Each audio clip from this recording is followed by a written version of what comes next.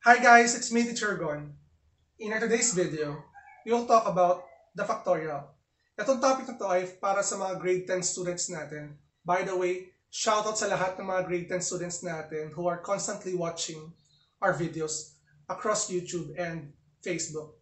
So, ginawa ko tong video na to kasi in prepara- preparation for the third quarter topics ng mga grade 10 dahil this third quarter, ang mga topic nyo is under permutation and combination. Wherein, factorial is a must topic or a must skill na dapat tututunan nyo dahil isa to sa mga kailangan nyong gamitin when it comes to permutation and combination. So if you're new to my channel, don't forget to like and subscribe at i-hit na rin yung bell button for you to be updated sa ating latest uploads. Again, I'm Teacher Gon. Let's do this topic. So basically, uh, let us define first what is factorial. A factorial or the factorial function is a way to multiply all whole numbers from our chosen number down to 1. So, mer syempre, di ba, hindi ganun kadali yung intindihin yung ating definition. Let me give you the concept of factorial. Let's say, for example, I have the factors of 4 times 3 times 2 times 1. So, ang factorial kasi, it is a shorthand way on how to write this kind of factors yung 4 times 3 times 2 times 1 natin, in factorial notation, is simply equivalent to 4 4 factorial. Gamit yung symbol na to. So again, ito yung mas madaling way para isulat yung 4 times 3 times 2 times 1 is equal to 4 factorial. Now, para mas maintindihan niyo pa yung mismo konsepto ng factorial, let me give you some basic examples that I have here on my screen or on my board para ma-practice natin on how to simplify factorial notation. So we have here 5 factorial wherein to simplify this or the value of 5 factorial is the same as 5 times 4 times 3 times 2 times 1. And when you multiply 5 times 4 times 3 times 2 times 1, 5 factorial is simply equivalent to 120. Ito yung value ng ating 5 factorial. Now, let's move on with item number 2. Sir, 8 factorial. Paano ngayon yung ating 8 factorial or what is the value of 8 factorial? Ang 8 factorial natin is equivalent to 8, starting from 8, times 7, times 6, times 5, times 4, times 3, times 2, times 1. Hanggang 1 tayo. From the chosen number 8 up to 1. And multiplying this number, this will give you 40,320. Okay? Ganun lang kasimple yung ating factorial. So let's move on with item number 3. For item number 3, ang 0 factorial ay isipin nyo 0 times 1.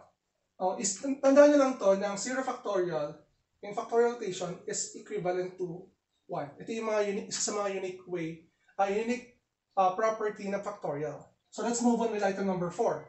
In item number 4, we have 2 factorial and 5 factorial. So di ba, isipin nyo, ay sir, ang hirap naman yan. Hindi naman po ganun kahirap yan. Following the pattern of factorial, mag-focus ka muna dito. Your 2 factorial is equivalent to 2 times 1. And for your 5 factorial, that is equivalent to 5 times 4 times 3 times 2 times 1. Wherein, alam natin na ang 5 factorial natin or ang 5 times 4 times 3 times 2 times 1 is equal to 120. So you have 120. Tapos, yung 2 times 1 mo is equivalent to 2. So meaning, ang 2 factorial natin times 5 factorial is 2 times 120 or simply 240. Ito ngayon yung value ng ating 2 factorial times 5 factorial.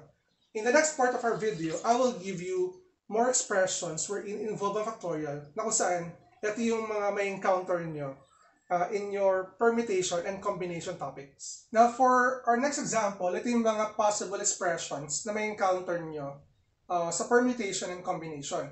So, we have here 8 factorial over 5 factorial for number 5, wherein given those examples kanina from numbers 1 to 4, ang gagawin natin dito is that you have 8 times 7 times 6 times 5 times 4 times 3 times 2 times 1. Kasi yun yung ating factorial over your 5 times 4 times 3 times 2 times 1 fac- times 1 as your 5 factorial. Wherein, tama naman pa yung ginagawa natin dito. But, para magkaroon tayo ng mas maiksing time, I recommend na ito nilang gawin nyo. Kasi yung ginawa natin kanina na 8 hanggang times 1, tapos yung 5 times 1, is the same as writing as this given as 8 times 7 times 6 times 5 factorial. Sir, bakit po tayo nag-stop sa 5 factorial? Kasi you have your 5 factorial in your denominator. Wherein, if meron kang 5 factorial sa iyong denominator, you can cancel out or you can eliminate 5 factorial here and here. So, cancel natin ito. And then, you still have 8 times 7 times 6, which, which is equivalent to 336.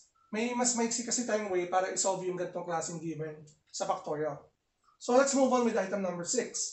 For item number 6, ang gagawin ko dito as a student, kung ako estudyante, we have here 6 factorial over 2 factorial times 3 factorial.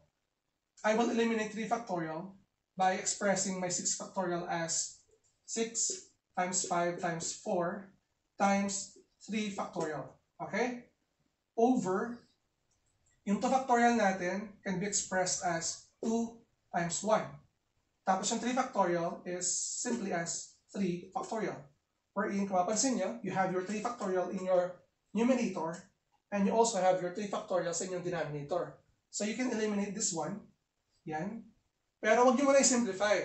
Kasi meron ka nitong 2. And then you have here your 4. You can simplify your 2 and 4 wherein ito yung magiging 2, ito yung magiging 1. Okay? So for your numerator, you have 6 times 5, which is 30, times 2, it will give you 60 over 1 times 1, that is 1, or 60. Ito na yung mismo sagot natin sa item number 6. So I hope na natuto kayo sa ating tutorial about factorial, wherein if you have any question or any topic, suggestion na gusto nyo i-cover natin sa ating YouTube channel, you can comment down below. And I hope na makapag-leave kayo ng comment about this tutorial, kung nakatulong ba siya or hindi. So, again, if you're new to my channel, don't forget to like and subscribe. At i-hit mo na rin yung bell button for you to be updated sa ating latest uploads. Again, I am Teacher Gon. Maraming maraming salamat. Bye-bye!